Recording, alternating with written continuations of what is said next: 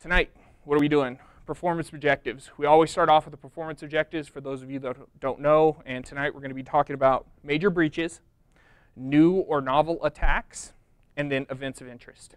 And there's been a whole bunch of stuff that happened in 2017. I have a pretty good list, but I'm going to tell you right now it's incomplete. Your favorite hack or the thing that you're responsible for might not be on this list. And if it's not, I'm sorry. But if you uh, go on the Chandler PD webpage and you file a report about yourself and send it to us, we'll definitely look into it for you. So thank you.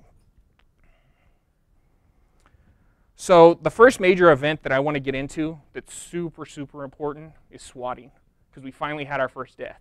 We had a gentleman in Kansas who was killed by an officer who responded to his home under the impression that there was a extreme emergency in the home. And if you have not had an opportunity to listen to the tape, Kansas was real good about immediately releasing the 911 call that spurred them to respond and end that man's life. Okay? And he had nothing to do with what was going on. He was just a guy in his house. The house got surrounded by SWAT team members and other members of law enforcement. He comes out to figure out what's going on, and they shoot him. Okay, and you can see it. They've got the video online. They've released the video. They have released the tapes. You can hear everything. You can see everything. They've been very, very vocal about what's going on. And this is a really big deal because for years and years and years, people like me who work in law enforcement have been saying over and over, somebody is going to die. If you keep calling SWAT teams and you keep calling law enforcement and sending them out, eventually somebody's going to make a mistake and it's going to end in a tragedy. Well, it did. Okay, so if you were following along and you were to open this up, the link takes you to information, and this actually does contain uh, links to, and I picked this link because it had links to the audio, so you can actually listen to what happened. It gives you an explanation. They have some pictures uh, here for you to follow along, and so on and so forth. But uh, there was a gentleman in California who went by Swatistic. Okay, his last name was Barriss, and this guy is well known uh, essentially everywhere for doing swatting calls, bomb threats. He's been arrested before. He has a pretty long rap sheet, and he's really into Call of Duty. That's his thing. Um, he's done over 100 school threats. He's done 10 residence threats. Uh, he's been previously convicted for calling in a bomb threat that shut down an ABC affiliate. If you want to know what ABC affiliate was, it's real easy look up this guy's name and the words ABC on your search engine of choice, you will be able to find fairly quickly who this guy is and what he was doing. And what essentially happened here is two guys got in an argument over a dollar and 50 cent wager on a game of Call of Duty. They butted heads about it. One of them went to Swatistic and requested, hey, I want you to SWAT this guy. Swatistic said, okay, reaches out to the other guy, says, what's your address? The guy, knowing who Swatistic is, decides not to give him a legitimate address, taunts him, and then provides him the address of a man who lives down the street who does not play video games. He's a single father, has two kids, works several jobs, so on and so forth. If you read the whole story about this guy, it's pretty tragic.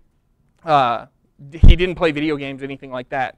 So Swatistic, not checking any of this information, picks up the phone, dials, and you can listen to the thing, talks about how uh, he has a gun, he's killed his mom, he's killed his dad, he's killed all these different people, he's holding the whole family hostage, and when the cops get there, he's going to kill them too. Police roll up. Uh, apparently, they're not. There seems to be some failures here, and the lawyers that are involved in this have already made some pretty large claims. Uh, you can see their videos online if you're interested in doing that. The lawyers are online. A whole bunch of people are all online. And then we're also going to go over how to actually pull all the court records here in a minute. So if you want to actually read your court records, you'll be able to do that too. Uh, but it costs money. It's like $1.50 for California, and I think it's like $2 for Kansas, and I wasn't willing to pay that money. Sorry, guys. I love you all, but you can look it up yourself. I'll send you the links, okay? Um, so law enforcement shows up.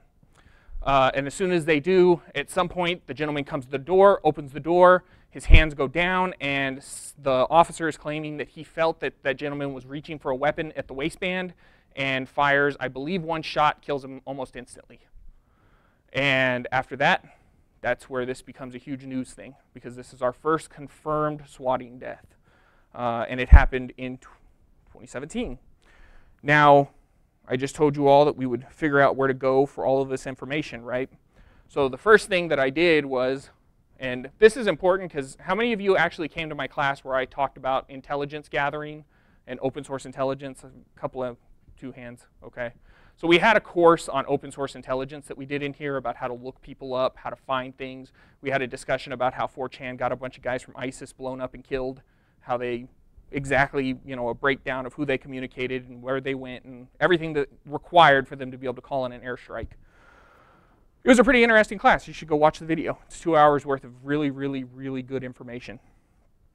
So working off of that, the first thing I did was I took this guy's name and I went and plugged it into the court system in LA because they said he was arrested in where? California. So if you go here to the criminal case summary uh, on Los Angeles court, you can actually search by names, you can search by different information here. First thing I did was I went in there, plugged in all of his information, and I got his case number.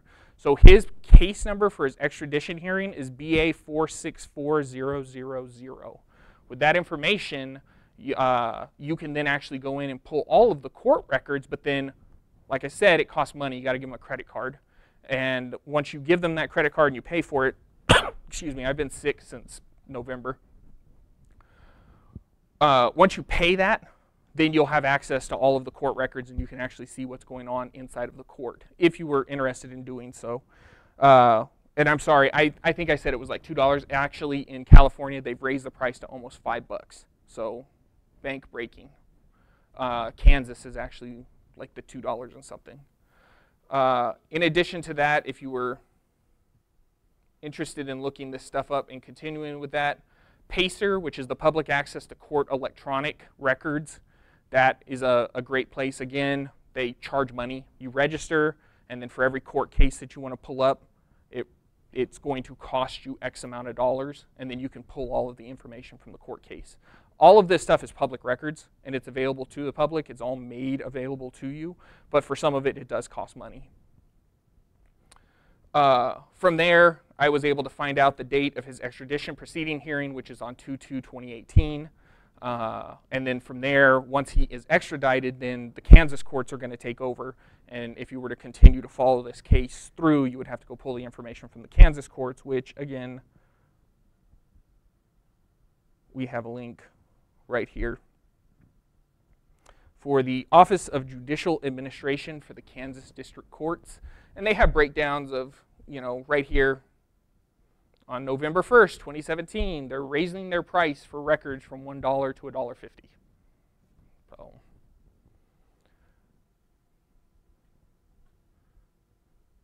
so what did we find out? Well, he's being charged with manslaughter, which is sort of the important item on there right now. They're claiming that uh, what he did makes him in part responsible for this man's death. Uh, in addition to that, um, as soon as this went down, the community at large had pretty much already identified who did it before law enforcement really ever even gotten involved. Uh, as soon as this gentleman had been shot and it showed up in the news that he had passed away, uh, a bounty was put out on Swatistic's head of approximately $5,000. Somebody jumped on Twitter and said, I'll pay $5,000 to the first guy who breaks into his Twitter account and gives up who he is. You give me actionable intelligence on this guy, and you get five grand. And this was a, the gentleman who put out that bounty on this guy was a former swatter slash guy who was trying to get his life straight. Um, he had, he'd been one of the guys who called SWAT on. Does everybody here know who Brian Krebs is? No? Krebs on security? So Krebs on security and Brian Krebs, uh, he's kind of well known for being a pincushion slash target for a whole bunch of people. There's been Russian hackers and US hackers and guys from Britain and tons and tons of people who have been really, really pissed off at Brian Krebs and they've had his internet shut down. They turned off the water to his house. They've swatted his home multiple times. They've gone after this guy, just really ran his life into the dirt. Um, but he constantly just, you know, gets on there and reports on these guys and does stuff that pisses them off, and they come right back out and keep going after him. Well, once that bounty went out, Swatistic actually went to Brian Krebs and said, I just want to make it clear to the record that I'm not responsible for shooting this guy because I'm not a police officer, so I don't have a gun, so I didn't shoot him. And after making his declaration that it wasn't his fault, uh, he then went on Twitter and started telling everybody and getting in arguments that it wasn't his fault. And a whole bunch of people dogpiled on him. And he essentially spent a couple of days telling everybody that, yeah, he made the phone call. Yeah, he was involved in the swatting incident. Yeah, he did all of these things. And then at the very end, I guess somebody reached out to Twitter and finally told him, hey, you need to shut this thing down, like take his account away. So they shut down his account. Um, Brian Krebs actually gave him an opportunity to talk to law enforcement, told him, hey, if you want, I'll put something together so you can turn yourself in. And he declined, said that they got to catch him first, which he'd already said who it was. He, uh, he was living in a group home uh, because of the fact that he had already been involved in a previous bomb threat. He had been previously arrested. His record is there, so on and so forth. So um, they knew who he was almost instantaneously. I mean, it was within moments before they were filing paperwork to go get this guy picked up, taken in, and starting the extradition uh, process. Um, on this, I think this is sort of an example of things to come. Shortly after this happened, somebody ran a news article, which I was unable to archive before they removed it, about a woman who called in a swatting incident on an estranged husband, and they were claiming that he had been shot. And I read the whole article at this news agency, and I thought, oh, this is very interesting. I think I need to archive this when I'm not on my cell phone. And uh, I didn't in time. So that was either a false report that was made by somebody, some kind of false news article, and or it actually happened and they're trying not to talk about it because this is sort of an example of what happens. And some people see this not as a warning, but as a positive thing. Hey, we're getting to the point where actually we're finally getting people killed. And um, I think that there's going to be a lot of, you're going to have just as many people who put their hands up and say, you know what, I'm going to back away from this, as you are people who are going to look at this and go, now I know what I need to do to somebody that I don't like. Where that's going to take us in the future, I don't know. Um, but it's been going on for a while. It's going to continue to go on. And in addition to that, this whole thing right here is also kind of linked in with one of our next things that we're going to talk about with the esports. So we're going to get to esports in a minute, but this is all part of that. This is that sort of esports culture that you have, if you will. Does anybody have any questions about this?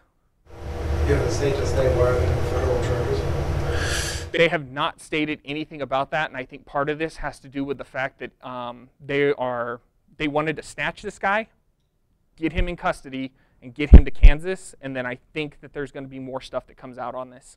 I think that the the most important part was to get the extradition hearing, get this guy arrested, and get him off the street. And in addition to that, I mean, when you're a law enforcement officer and you have people putting out a bounty on somebody's head saying, "Get me this guy's home address," at that point, I think that they were, let's, let's get in there and, and grab this guy as quick as we can.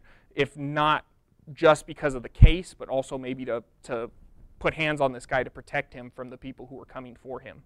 Uh, I don't really have to say this, but people were pissed. There was some upset people that uh, have some some pull, I guess would be a good word to use. There was some pretty upset people out on Twitter who have some pretty high levels of pull who were hunting this guy down like almost instantaneously. So that's where I think that's going.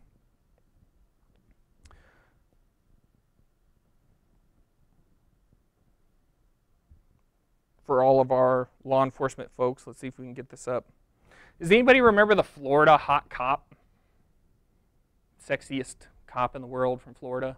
No? Okay. Looking at the audience, I'm not going to be like surprised. So this is more of a law enforcement thing. And I, I, bring this up because we do this for law enforcement and I do these talks for cops, and this is very, very important for anybody who's involved in law enforcement. So, a gentleman who was responding to the hurricanes, he was a, an officer, uh, he took some selfies and he ends up on Facebook and a whole bunch of people are like, man, this guy's the sexiest cop in the world. I didn't think he was that hot, but you know, whatever. Everybody liked him, so that's fine. That's okay. I'm not jealous or anything. Uh, so he gets up there and he just he jumps on it. Uh, they're adding him on Facebook. He's on Twitter. He's schmoozing. You know, they're putting him in the news. There's all kinds of images taken of this guy. It's a big deal. I mean, it's all over the place. And of course, everybody's talking about it because, oh, it's the hottest cop in the world. Ooh, who could this possibly be, right? So, what do you think this guy was doing with all of his social media? Anybody want to take a guess? Yeah, because you're already reading it up there, right? Everybody see the, the text up there? What was this guy doing? This moron was out on his social media making jokes about Jewish people, writing that stupid people should be put in the oven, and talking about all the people that he would love to deal with the Hitler way. His messages were out of line, ridiculous, and guess how old they were? They were from like 2012. Okay? I, he, I don't think he was even an officer. I don't even think he was over 18 back in 2012. Okay, this guy. But the, the, the takeaway here is every single thing, and this is sort of talking to law enforcement in particular, every single thing that you do, it doesn't go away. Okay? Many of us are in that age group in this room where we could do stupid stuff on the internet when we were younger and it's kind of faded away because it was on like a GeoCities webpage. Like we made that GeoCities webpage and it had all the gifs with Goku and he was shooting fireballs and stuff, right? And it was okay because eventually GeoCities died. Today we don't really have that. You have a perpetual history of every action you take from the moment you get on Facebook and Twitter and your social media for the rest of your life. And that that follows you. Anybody ever try to shut down a Facebook account here? You cannot. They don't delete it. It doesn't go away. You can go in there and you can say, shut me down. And they say, okay. Well, plus they, they have like something in the user agreement where anything you post up there is their property. Correct. For the rest of your the eternity that Facebook is a company. Which is why people uh, who take holidays into like Southeast Asia will sometimes find images from their Facebook of their family being used for advertisements over there. Uh, if you ever get bored, you can look that up. Facebook family used for advertisements on Google, and you will find that other countries will buy images from idyllic families here in the US and otherwhere, and then use those there for their stuff, like advertising sales or putting a, an advertisement for medicine or all kinds of different things. Things that you maybe don't want your small child being used for. That's happening and you have no say in it because they've already sold your information. So yes, absolutely. If you look at the, the agreement, you will find very quickly that, and one of the messages for that, excuse me, uh, I guess, quote unquote, one of the families was like a British family, and they went on holiday and they look up and one of their Christmas photos is being used for selling a bunch of stuff in a Korean store. So if you're using your social media, A, you don't own it, B, you can never get rid of it, and C, it will show up again someday. Somebody's going to look into it. Uh, especially for those of us who try to work in like cybersecurity or anything like that. What are you going to eventually try to go for, right? A top secret clearance? There, you're going to be trying to do stuff where people will actually do a background check on you and they're going to look for things like that. In addition to that, again, going back to the Facebook thing, if you ever try to shut down your Facebook and then you just come back two, three years later and try to log in, it, it essentially everything comes right back up. They flip the lights back on and you have access to everything again. So just FYI. So this guy didn't know that. And what was he doing? Going around making ridiculous, not funny jokes saying dumb stuff that he shouldn't have been saying. And then when people start adding him on Facebook and adding him on Twitter and asking him on dates and asking him to sign up for Tinder and all the stupid things that they were doing, he signs up for all of that. And the first thing they do is start going through his history. Just scroll down to the bottom, right? And they find this stuff. So what happened to him? Well, he's fired. Okay. Uh, he is gone. And if you go in, I use archive.is for everything. You can go to the archive page and then you can get the actual URL if you want to go to it because for some of these sites it actually breaks the way that it loads. So you have to do a whole bunch of scrolling, just FYI, everybody.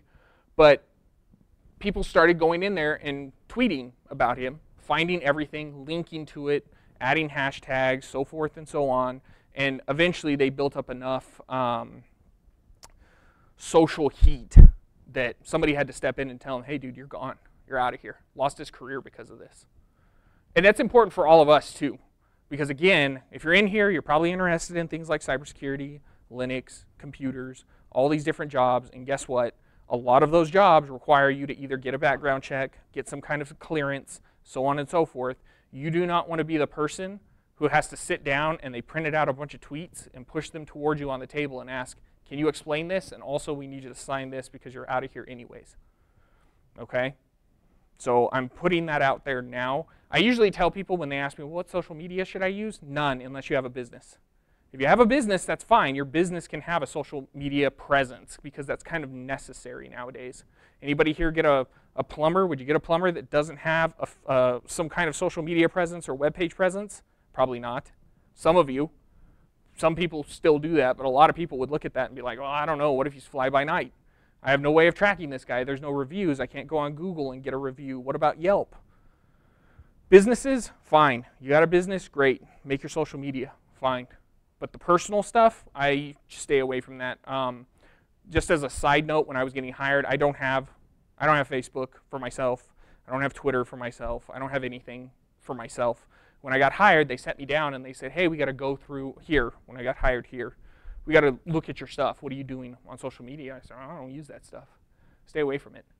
And they looked at me and they were like, well, do you, you don't have anything? And I was like, well, I can make you one if you want me to. I'll throw up some dog pictures or something. I don't care. Uh, and at the end of the thing, they were like, okay, yeah, fine. But it was one more thing that I didn't have to worry about as part of the hiring process.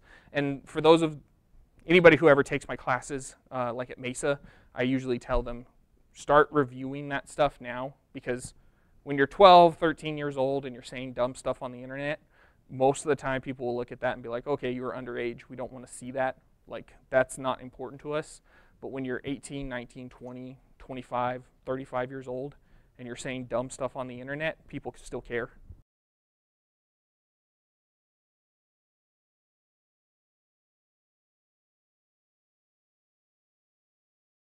So esports. I said we were going to get to it.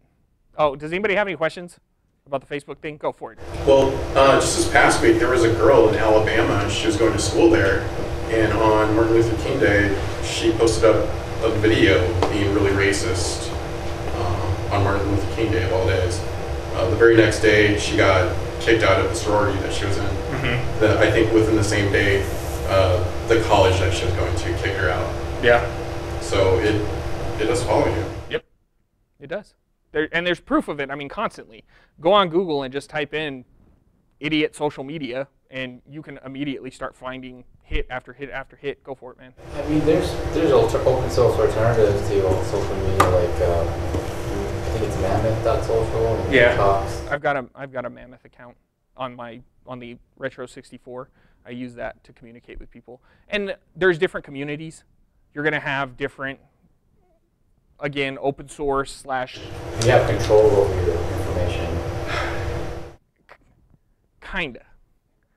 I, don't I have a lot more than Facebook. you have a lot more than Facebook, but you really don't. You don't have a lot of control because remember, like on Mammoth, if you want to go over like the Mammoth slash the Gab AIO or whatever, any of those items, yes, you can run your own server, but they're federated. So I start running my own server and I'm typing stuff in, but everything that I send still has to go out to other people's computers. So then they start saving it. And then all you're doing is making multiple offshore accounts of whatever dumb thing that you were doing over here anyways. And at what point does it go from being social social interaction and, and having a persona online to yes, I can absolutely I can PGP encrypt every single thing that I send out, and I can use Tor, and I can use a pseudonym, and I can pretend to be somebody else, and I can use a fake image, and all of that stuff. But then, who am I? What am I? What am I trying to communicate? Maybe, maybe, maybe you need to encrypt every single one of your, um, you know, your Harry Potter role plays. I mean, you, I mean, if you got to do it, you got to do it. Um, anytime you do something stupid that has a URL associated with it, remember that somebody that doesn't like that can give it to archive.org and ask them to put it in their archive. Sure, that's what I do. They will go out and they will scrape the page for posterity. Yeah. And it's, if it's in a digital format, Yeah. uh, we've gotten past the point where, you know, things go away. They don't. Yeah, it doesn't go away. It, it doesn't. It doesn't go You away. can ask archive to delete, because I've gotten plenty of, even articles like gone. Right? Aren't they making requests to delete it? They don't, uh, Nobody deletes anything anymore, man. yeah. Um, Nobody deletes anything. It just it's it's not there. so esports. Um, so guilty pleasure. I'm just gonna say it. I watch speed runs. Like I do because I don't have a lot of time to play video games. I'm working a job, plus I'm a teacher, plus I work on this stuff, plus I do public speaking, plus I have meetings I go to and all this other stuff. So I don't have time to play video games. So I watch somebody else play video games in a window using MPV and YouTube DL uh, so that I can still be like, oh, I like video games, but I don't really play video games anymore. I just watch somebody else play. That's part of that esports thing. Um, there's a whole bunch of people who are involved in esports. You have speedrunners, you have people who play video games professionally. When I was a kid, I wanted to grow up and I was going to play Unreal Tournament professionally. Like that was going to be my life. I was going to be a 30-year-old Unreal Tournament player, hitting people with the Redeemer every time I turn around, 360 no scope, because I don't even think you had a scope in Unreal Tournament. You know what? You did. There was a sniper rifle, but I never used it. Um, but then I found out that I had to do other stuff to support myself because I wasn't super hardcore at Unreal Tournament. Um, but esports is a huge industry. There's a lot of money to be made. There's people making money on YouTube. There's people making money with uh, the actual competitions. Uh, you know, hundreds of thousands of dollars are passing hands just off of single matches. There are people who are into gambling, uh, which, if we go back up to Burris, and that Tyler guy, what happens? Somebody bet a dollar fifty against somebody else. They lost the match. Somebody didn't want to pay the dollar fifty, and lo and behold, next thing you know, there's an innocent man dead. There's all kinds of stuff going on. Uh, if you look into some of our foreign nation allies like um, Korea, uh, they've got entire industries now built around helping people recover from video game addiction uh, you can actually go on YouTube and you can watch videos about people who have played video games for so long that they die sitting at their computer. They just have a heart attack, they have some sort of medical condition, they're sitting there, they're playing Dota, and the next thing you know, they pass away just right there in a chair. Uh, there's all sorts of stuff going on. But the esports group, ESEA, discovered there's another way that people are trying to make money. And what ended up happening with them is their records were leaked, and they had 1.5 million records of what I'm guessing is a pretty wide age group of people, including individuals who are underaged as well as adults. Now, what do we know about this group?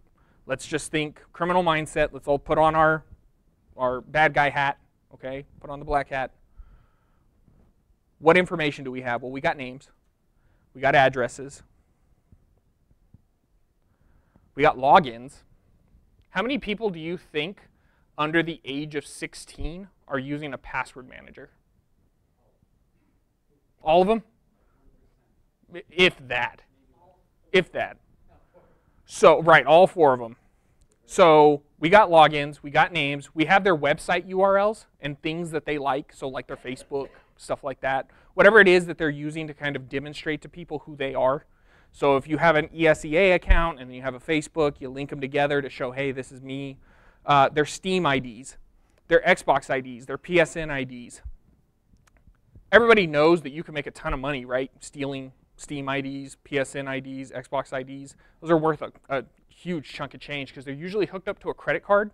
And what people do is they get access to the account and then they'll buy the cash, like the little Xbox coins or the Sony PlayStation coin or whatever it is, their their currency, right? Um, and I don't know the names for all of them. Even Steam has like Steam bucks. Anybody ever seen a Steam card for like 50 bucks at the grocery store? You know what I'm talking about, right? Okay, I just want to make sure everybody's following along. They will buy that stuff and then sell it, and then there is no way to recoup that. Once you sell that card, you've earned your money. That person's credit card has been hit, and if they don't pay for it, then all the stuff that they've already bought through Xbox Live, PSN Network, any of that stuff, that can be taken away. Anybody here remember how pissed off everybody was when they said instead of doing CDs, we were going to do like digital downloads? And how people were like, once we move away from physical media, that means somebody has control over what I can do with the thing that I bought. We all remember that idea? Okay. Like uh, right around PlayStation 2 ish started coming out, and there were certain games that you could download, like the Final Fantasy game for PlayStation 2. Uh, came with a hard drive. Like at that point, people started going, you know, I'm paying for this game and I don't have control over it. Well, you can manipulate that. Okay, you have made $700 in media purchases through PSN Network. So if you don't pay the 600 bucks, you're going to lose all of that stuff because when you do the chargeback on your credit card, they close your account. That's how that scam works. And essentially, somebody in between is stealing all of that. So we already have uh, a mechanism of fraud, right? Getting into people's Steam, Xbox, or PSN IDs. That's a way of stealing money. So that's your that's your first method of making a profit off of this. Your next method is what about all the people who are looking at these kids to cause them harm? Abusers. You got a whole bunch of kids information about what they're interested in. So now you have data about underage kids. You have their contact information, you have their Facebooks, their Twitters, you have all of this stuff. It's not a huge leap to be able to send somebody a message that starts off with, hey man, I see you're interested in Counter Strike. Me too. What's your favorite gun? And then to take it from there. So I, if I was a parent, would be concerned about that, extremely concerned about that, considering the fact that every piece of information that you need to, to begin that process of making contact with a child is all available now. Uh, and we haven't even gotten to what happened to ESEA, okay? We're just going through the list of what you can do with this data. You have addresses. Why do you have addresses? Because of the fact that you need to be able to pay for your bets, to be able to pay for different things that you're buying, your merchandise. So they kept all of that information. So potentially some kid got on there and was like, Mom, I want to buy a hat. Okay, here's my credit card, buy your hat. And now you have the address for that person, age, contact information, all kinds of other information about them. I can go on and on. And for anybody who's been in cybersecurity, just looking at that list, you kind of all have an idea of all the things that you can do to cause harm with this data. So then at the end of the day, this group who decided to do this reaches out to ESEA and says, hey guys, we have your information. Here's a small sample of it. We want you to give us $100,000 and we'll destroy it, which is 110% bullshit. They will never do that. Nobody's stupid enough to do that. This, this kind of data is an easy mechanism to a whole lot of profit, and that $100,000, that's piddly. That's just a good way of getting started to start your advertisement campaign and contact people and to be able to, to put food on the table while you wait for the rest of your sales to go through. $100,000 is nothing when it comes to this kind of information. So, what does the ESEA do? They said no, which was actually smart. Uh, that was the, the, in, in, in the intelligent thing to do. So then these people come back and say, well, we stole some of your intellectual property. I'm sure that is not the word that was used. Okay? Believe me, they didn't say we took your intellectual property, but this is the, the information that's being released to the public. So they said, well, our intellectual property was stolen, our databases were stolen. Here's all kinds of information about our clientele and all the people involved in this. And then in addition to that, they asked for $100,000 in cash. So they didn't pay him the $100,000. Well, the rest of the information is now online. You can go out and you can go pull this 1.5 million profiles if you know where to go look. You go poke around. And guess what? I did a class on the darknet. It was two hours showed everybody where people were buying drugs and selling drugs and so on and so forth and trading in that kind of information. So if you want to learn about what's going on with that, go watch that class because there's tons and tons of information in that class as well about where they're actually doing the marketing for this stuff. Where does this data show up? Um, excuse me, sorry. So at the end of the day, I I think ESEA probably did the right thing. They came out and they told everybody what happened. They said what was stolen. They revealed the fact that there was an extortion attempt after working with law enforcement. So they contacted law enforcement, said, hey, these guys are working with us. What do you want to do? Uh, undoubtedly, they probably tried something and maybe it failed or they just were like, you know what, $100,000 isn't worth jail time. We don't care. We've got all this other information. We can use it for all kinds of other scams and stuff. We'll just deal with this. Uh, because when you think about it, if you have their Steam ID, then what are you doing? You're making phishing emails, right? For Steam. Got the Xbox ID, phishing emails, so on and so forth. I mean, all of it.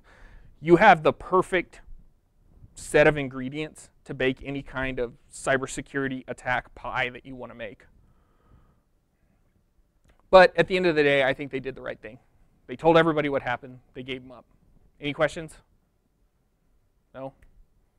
Okay, that one's pretty like pretty simple, pretty basic. I mean, that's the the traditional get your data, see where we can manipulate you with it, and then if not, then you go out and you sell it or you use it for other things. It's very general, like that is the heart of cybersecurity right there excuse me, let's talk about Equifax and the music teacher. I like this one. Equifax makes me mad. So Equifax was hacked. Everybody knows that, right? Are we all aware that there was an Equifax breach? Is everybody aware of what Equifax does? Is there anybody in here that does not know who Equifax is or what they do? No? Okay. So just for viewers at home, uh, if you do not know who Equifax is, they are a credit uh, scoring company. They help with making a decision on your credit. And then in addition to that, uh, they keep a database about all of your information. So very, very basic. Simple company, right? So what ended up happening, and they're claiming that it was about 50% of the US population.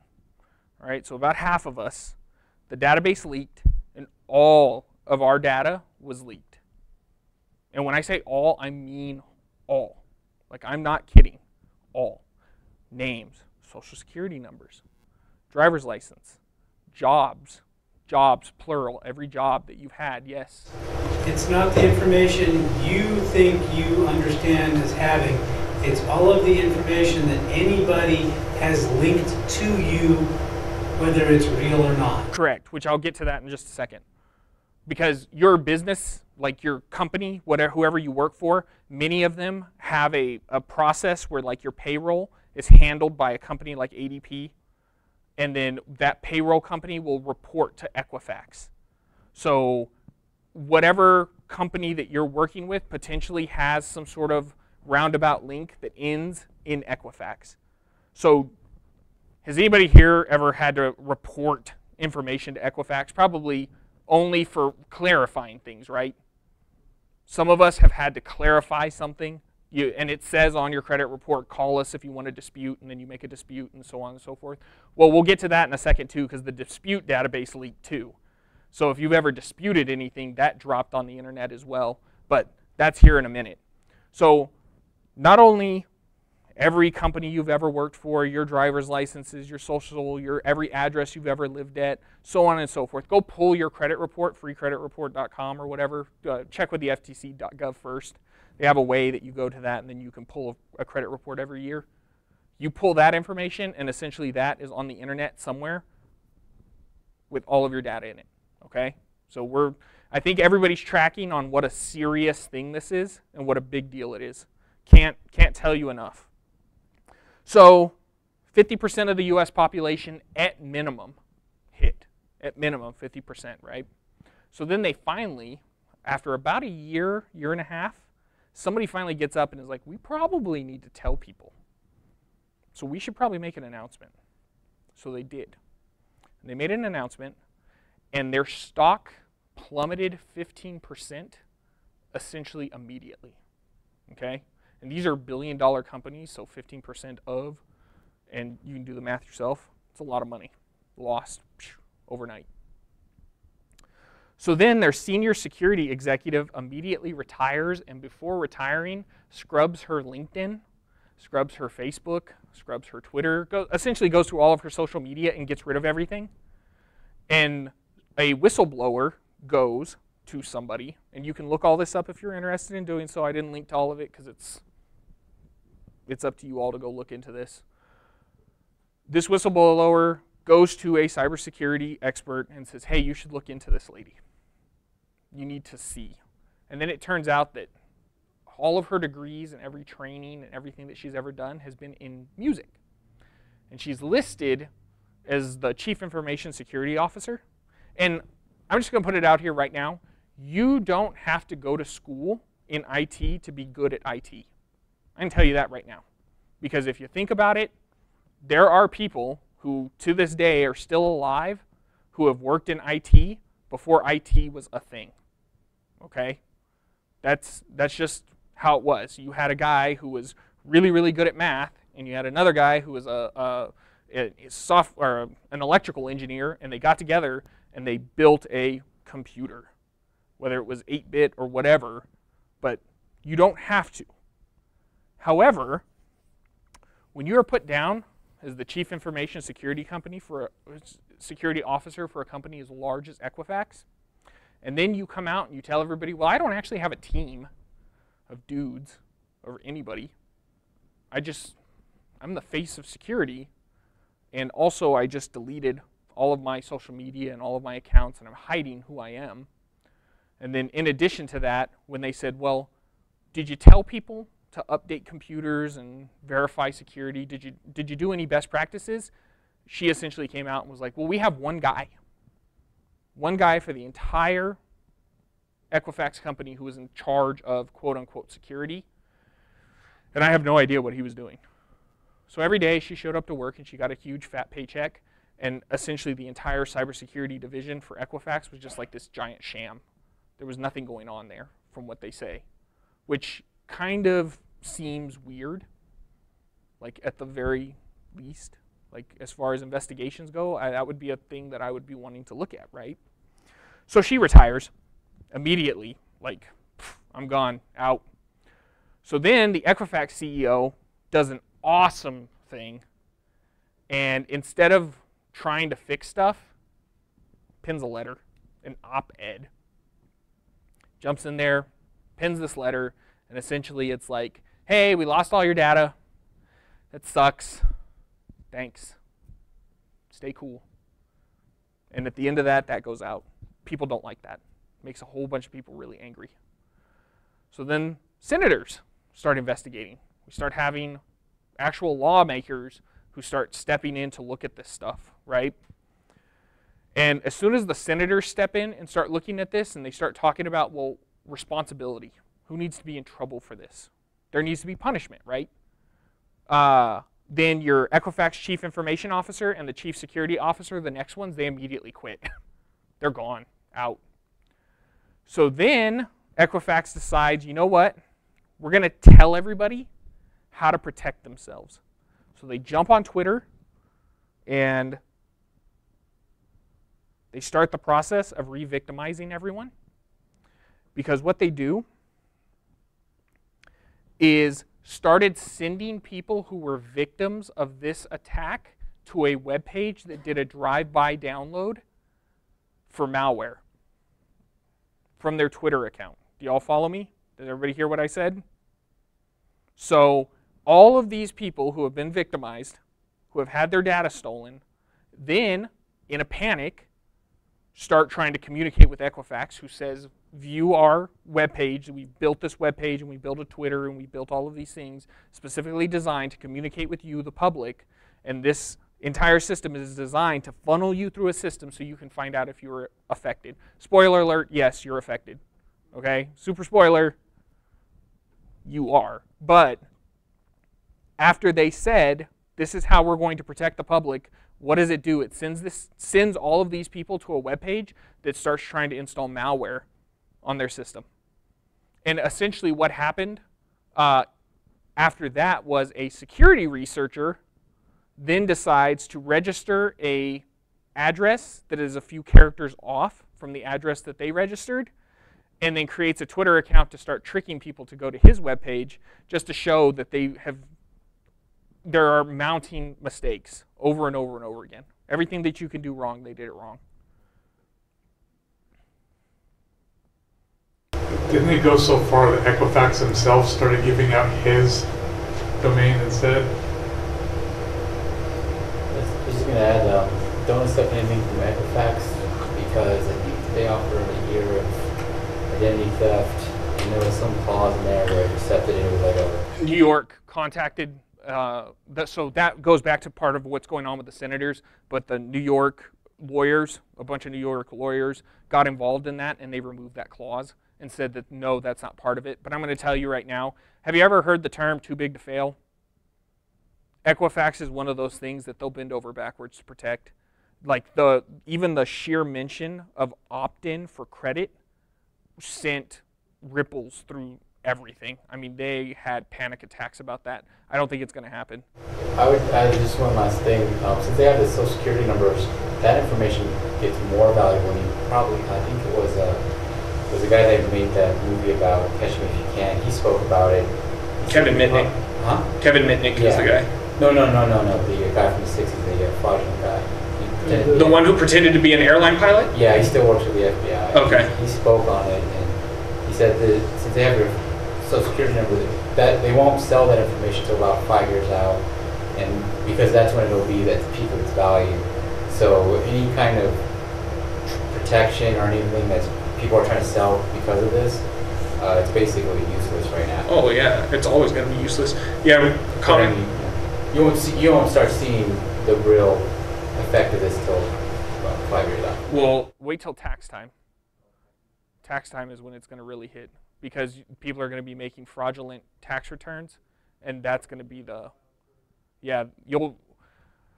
I wouldn't doubt if half the country is going to log into TurboTax in the next couple of weeks and find out that their taxes have already been submitted, like because you can make up anything you want, put anything you want in the boxes, and set it up to deliver into an account and yank the money out of the account, and we're going to be arresting mules all over the country for money laundering.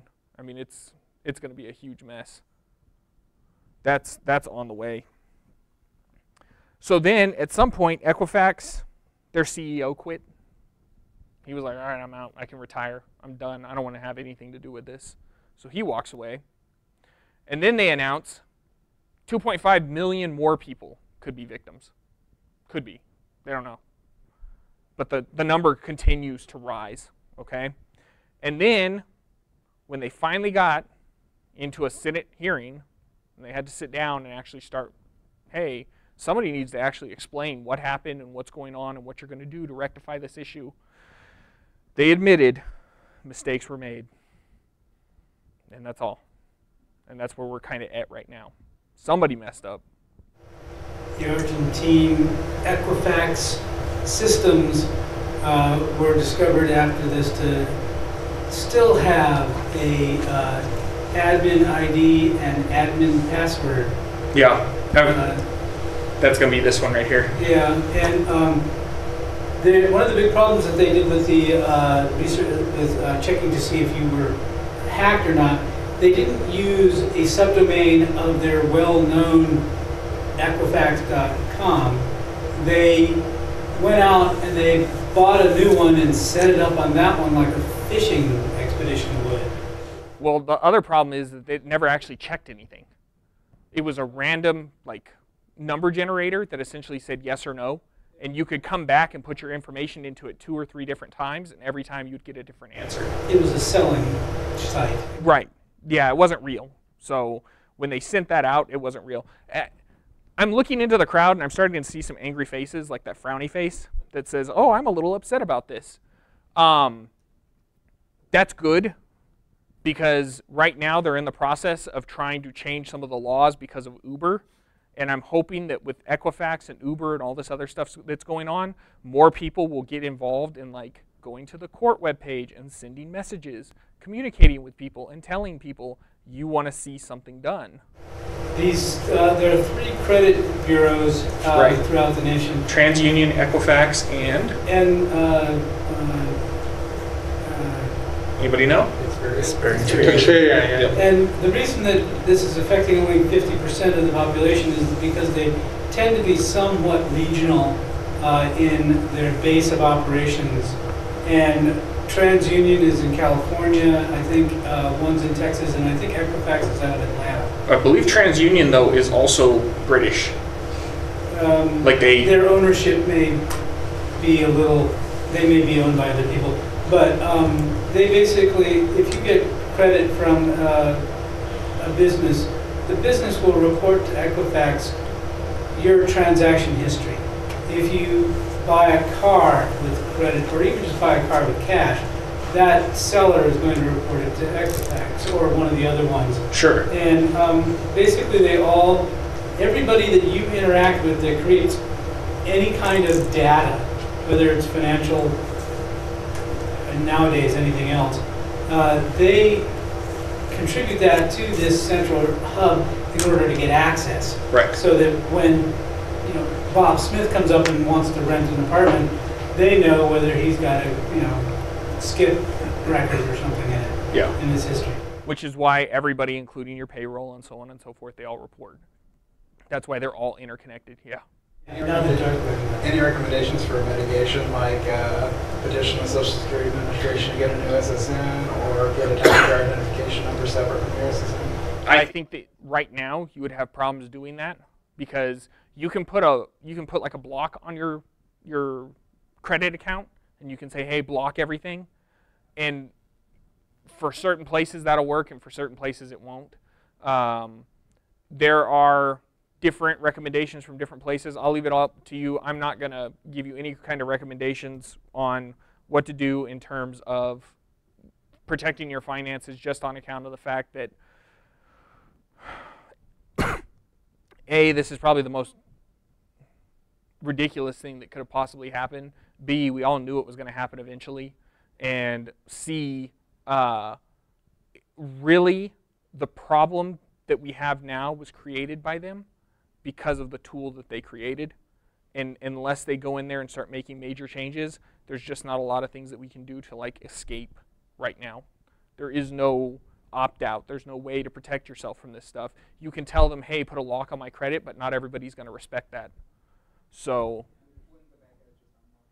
that potentially, yeah, because they'll have all the data necessary to And do you have that. to put a lock on all three credit bureaus, and there are actually four or five, uh, that, with a couple specialized ones. Um, also, uh, you can request a social security number change, but you, um, that, the government's about to shut down, so that's not gonna happen. And also, um, you might think about not, um, having any, uh, uh, tax, um, withheld because uh, if you've got a big juicy account at the IRS, uh, getting that hacked and taken is uh, what they can do by filing, you know, I'd talk to a lawyer before you start digging around with your taxes. Hit me. It's all bullshit. They they don't. That's the thing. If, go look up the guy who gave out his social security number on LifeLock And then even he had something like 40 something people steal from him, including a person who was considered mentally ill slash challenged, uh, like with Down syndrome, was a person who stole his identity. Isn't LifeLock paid out by Equifax somehow? They're Symantec, aren't they? I, that I don't know. I you'd have to look that one up. LifeLock can be hired by people who've been hacked to service the victims by trying to sell them more product. No, I, I think I'm pretty like 90% sure that Equifax Yeah, actually it's a- pays out it's a- LifeLock directly. Do, oh, do they? product- I, I Yeah. almost want Okay. to say that the parent company is Symantec. Well, Somehow, I think I Somebody read can At that. the end of the day, it's just an your phone. policy. I, I know, they demonstrated at the uh, WAS meeting how they got in. It was the using Struts vulnerability. Mhm. It was pretty amazing. Like, just serialize an object, and you just you literally just typed in cat etc password, and he sent it through like through a web page with no input on it, just literally a hyperlink, and the rest was blank. And it sucked up the uh, object and it ran it, gave me the passwords. which that vulnerability had been patched something like a year and a half ahead of time and then they had been sent information that said you need to patch this and what it sounds like ended up happening was a whole bunch of people got told to somebody needs to patch it and it went around sort of like playing telephone go patch this and then at the end of the day nobody ever did and so what ended up happening was that thing was available and vulnerable for that long. And in addition to that, that vulnerability was one of those ones that you could test for. You could find it very, very easily, like automated. and it's very questionable as to whether that was the problem or whether they had equally lax password uh, choices. Well, like on their database itself, yeah, they used admin admin for the username and password. So Still up and running on their Argentine operations Yeah. months after this, this happened. Somebody went down and they tried it down there. So, we're, going to get to that here when we finally get to Marissa Mayer. But yeah. Curious if there was any speculation as to who the assailants were. If there was Yeah. a group or there was a. Actually, they're, they're thinking that this was nation state. So they're like Russia, somebody similar. They believe that somebody using techniques that leave fingerprints that are similar to known groups potentially could have done this to take that information for other reasons. Just like, why would you want the OPM data, right? Oh, social security numbers, top secret clearances, you have all kinds of information about people. Very, very similar situation. Uh, let's talk about Yahoo because that gets back to where we're going to talk about like the admin admin for usernames and passwords and stuff like that. Uh, Yahoo was hacked again, but like again, again, and not just that one time or that other time before that, but yes, another time. Like this is a new Yahoo attack because they've been hit several times now. Um, I want to talk about the tragedy that is Yahoo uh, for a moment because it's kind of depressing and we need that uh, today. Why not? So Yahoo was worth a whole bunch of money, like a lot of money, billions of dollars. And then Microsoft stepped in and was like, we want to give you billions and billions and billions of dollars because we want the Yahoo IP for whatever silly thing Microsoft wanted to do with it. And somebody was a super genius and was like, oh, we don't need to sell to them. Yahoo's awesome. Everybody loves Yahoo. We're going to be making money forever. And so they refused the sale. And by the next year, they had lost billions and billions and billions of dollars in valuation. I mean, they just tanked straight into the ground. And then people started breaking into Yahoo over and over, which I don't really know why you would want to break into Yahoo because it's probably 99% like fake emails that were created specifically for signing up for like pornographic web pages and stuff. Like I'm not exactly sure. Yes. The generation that is just older than us is living with Yahoo email accounts and they're running all their bank's information through their Yahoo account. It's a gold mine. Oh, I'm They're all in their 70s and 80s. They've got monster bank accounts, investment if you're going to to fish those people, yes, you're you're going to figure that out anyways. But Yahoo has been hit over and over and over again. If you're using Yahoo, stop. Uh, do I need to say that? Okay. So if you're using Yahoo, stop using Yahoo. Like, stop. Uh, after all of their accounts were hacked, essentially billion accounts got popped. Um, I think they tried to not say anything for a little bit. And of course, it sort of makes sense because you're not going to say anything because you're in the middle of trying to sell this flailing dumpster fire. Like you want to get rid of it. And so they tried not saying anything. Well, Marissa Mayer, she gets picked up and they tell her, you got to come talk to the Senate. Man, I'll tell you what, the Senate's been working hard. I can't believe how many people they've been interviewing, like six people. Um, and they asked her, how did Yahoo get hacked? She said, well, I don't know. He said, okay. How did Equifax get hacked? And they said, well, I don't know. They, they were sort of doing it like a team thing, tag team. And she wore a really neat sweater. You don't get to see the picture here, but it was like a Christmas sweater that she wore. Um, it was very interesting. So she shows up and she tells them, I don't know what's happening. I don't know why it happened. I don't know what's going on. I can't tell you. And then they said, Well, what are you going to do about it? And she said, Well, hacking is really, really sophisticated, and we just can't keep up with it. Okay? Like, we can't keep up with the sophistication of what's going on with these attacks. And they said, Well, what happened? Well, it turns out somebody got spearphished.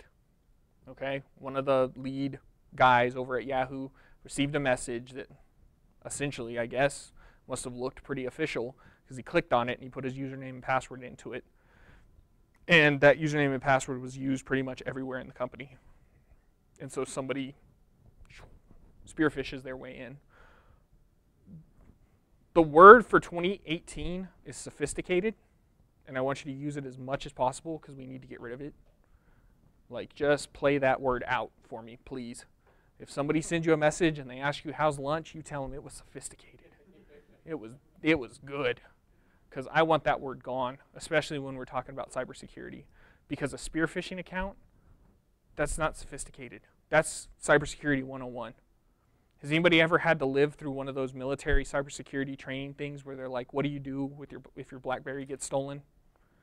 And you're not allowed to answer, chase the guy down and beat him. Like you have to give them like the answers that they ask. They teach you about spear phishing to the lowest, lowest, lowest person on the totem pole, all the way up to the highest. Everybody knows what spear phishing is, right? Anybody here not?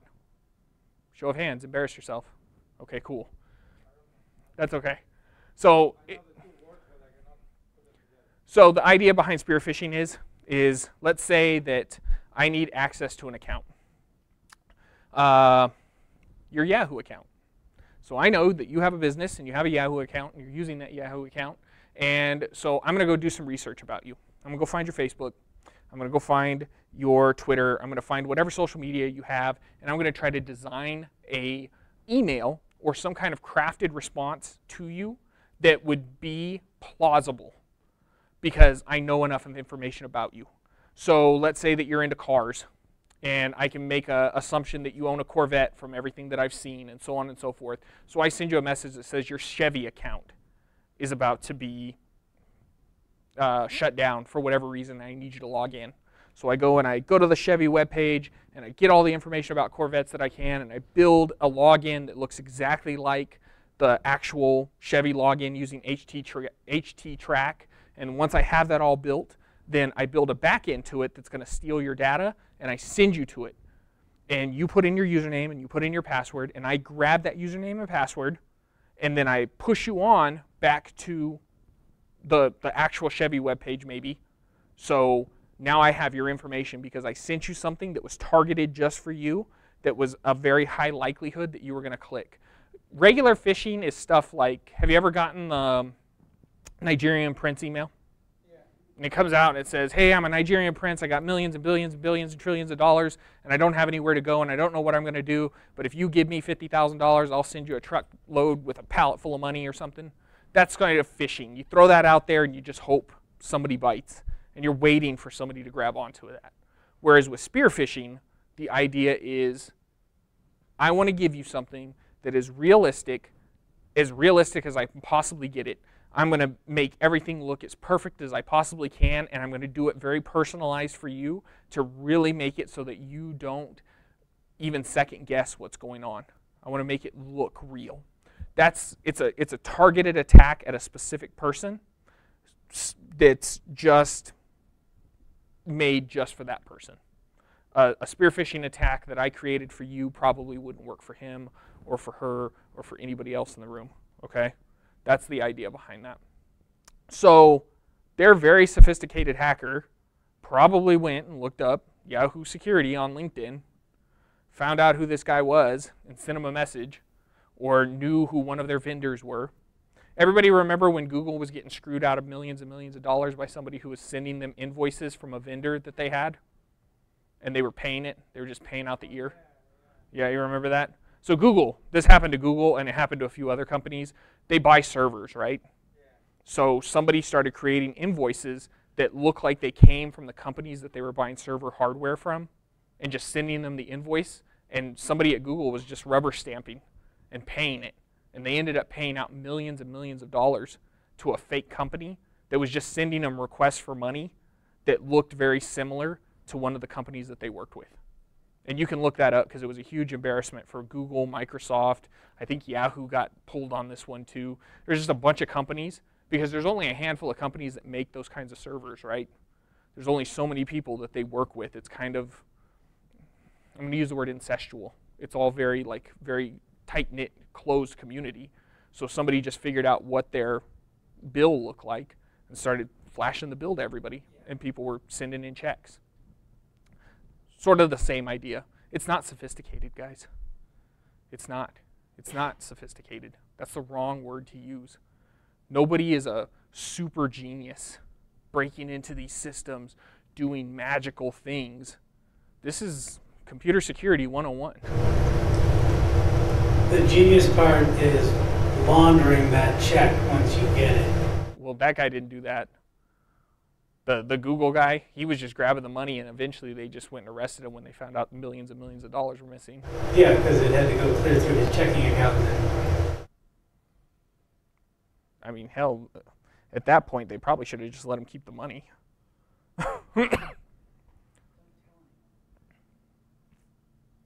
so, let's get to shadow brokers. Shadow brokers leaked a bunch of stuff from the NSA. Anybody remember WannaCry?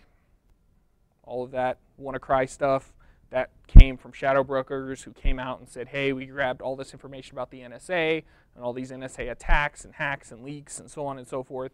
We're going to take all this data and we're going to start passing it out to people, okay? So this is where that starts.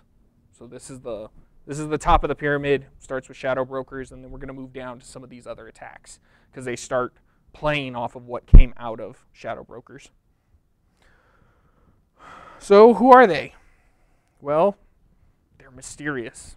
They had access to a whole ton of National Security Agency secrets, and then they began dumping those secrets on the internet. And they exposed these vulnerabilities in Cisco stuff, Microsoft stuff, Linux stuff.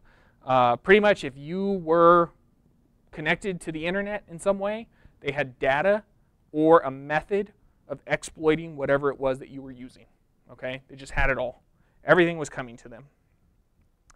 And in addition to that, uh, as soon as people started using this stuff, the shadow broker stepped in and started saying, if you do not start helping these companies close their security holes, we're going to just keep releasing more and more stuff. We're just going to let it all loose. We're going to burn this whole thing to the ground. We're going to give out all the information we have about every single exploit that we've got, and we're going to put it all out there. Now, of interest is the fact that we still don't know who these people are okay? Billions of dollars spent every year in gathering information in a data center up in Utah that costs millions of dollars a day to operate, where pretty much all of our information passes in and out of that place.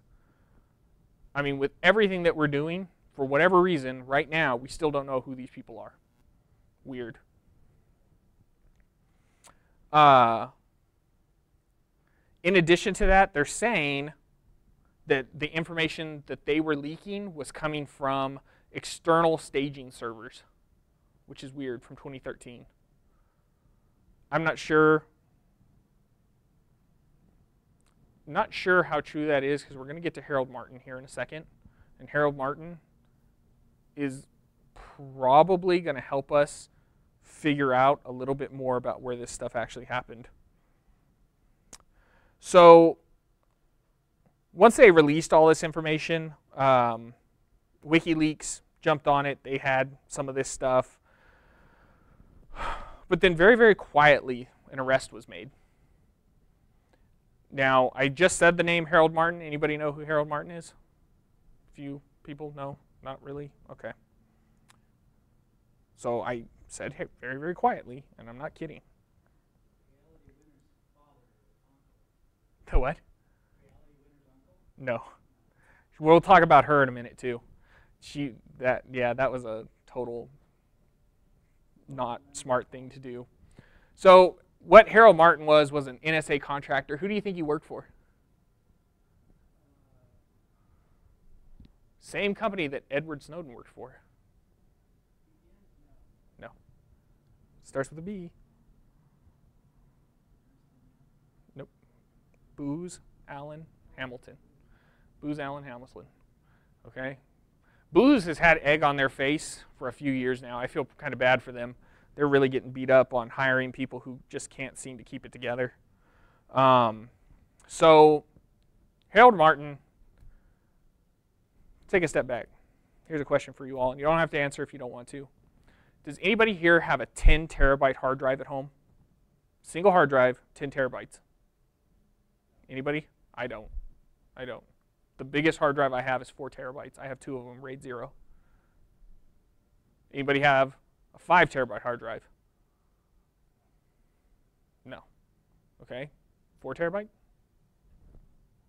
A couple of us? Okay. So everybody here has a pretty good idea of what it costs to buy a multi-terabyte hard drive of that size. And then in addition to that, we all have a pretty good idea of really how big something like two terabytes is, right? Like that's a huge amount of information. So what Harold Martin did was he went out and he stole 50 terabytes, 50 terabytes of NSA data and took it home.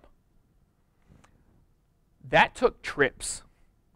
I guarantee that was multiple trips. That was not, I'm going to go in and plug a thumb drive into a computer and drag and drop and walk out of that place because I forgot to do something with this. 50 terabytes is a ton of data. Maybe he had like So- an Apple array with him or something. I, So did he walk out with disk drives or did he, did he move the information out? I don't know. I don't know how he did it. Uh, But he worked there for many, many years. So potentially from the day he, uh, well, actually, if you read right here, they said that he did it over 20 years because I know he worked there for, for a long time. So they're saying over a 20 year period, he walked out with 50 terabytes worth of data from the NSA. That's still a ton of data on a. So divide by 20, so roughly it's uh, what? Uh, two, two point. two gigs whatever per year or something? Or no, two. If you spin that many disks, your power company notices you. I mean, you would think. That, that's a separate, a separate part. That when you have data transfers, uh-huh. the NSA is supposed to have sentry and monitoring systems. Correct. So there's no way if I try to download something from Retro 64 to 2 gig, 200 gigs, you should get an email. Someone is doing something. You would think, but they, I mean, obviously they don't. All the stuff that we kind of give them credit for, it's obvious that they're not doing that stuff, or somebody's not.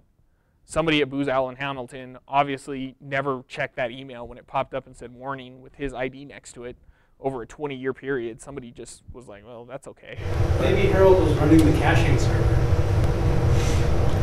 But you would think that this organization in itself would be a SCIF. There'd be no way that you could bring electronics in or out of the NSA. That's just astounding to me. You know, even a flash drive or anything. I mean, uh, that's that, a- That'd be confiscated at the door. 20 years ago, probably that was the last thing in their minds. Yeah. Sure. Well, and in addition to that, I mean, they will tell you that stuff. And of course, if you're concerned about things like prison, which maybe this guy wasn't concerned about. Maybe he didn't care. Yes, there is.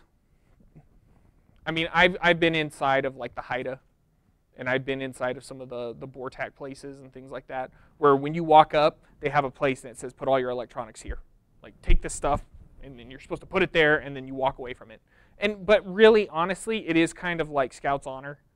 Like, yes, I took my cell phone and I put it in there, and yes, I secured my other stuff in there, but if I really wanted to, I could wear a watch with a USB hookup in it. They sell them on Amazon. I mean, I could put a USB drive in the sole of my boot. I mean, if you really wanted to. There's, I mean, it, it really is. It's Scout's honor. Nobody's going to sit there and, and run a USB drive sniffing dog over you. I mean, they just, they don't. And they, there is an expectation that you go to training and you know about this stuff and they trust you. Which earlier, when this first started, I put up Julius and Ethel Rosenberg up here. They were the individuals who, put, who were put to death for leaking nuclear state secrets to Russia. Okay? When we made the atom bomb, these two, or maybe just one of them, gathered up a bunch of information and gave enough information to the Russians for them to be able to kickstart their nuclear ambitions. At which point, once they did so, it was discovered that they had done this and they were immediately put to death. They killed them. Okay, and I also believe that they hold the record for also being the last people to be put to death for any kind of like seditious behavior here in the U.S. I think that that's another record that they hold. Uh, after that, they just started putting people in prison. Treasonous, something. Oh, treasonous.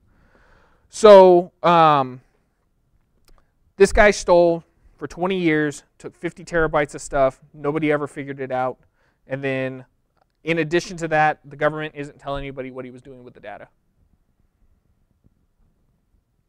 But Shadow Brokers finds a whole bunch of information, starts leaking it out everywhere.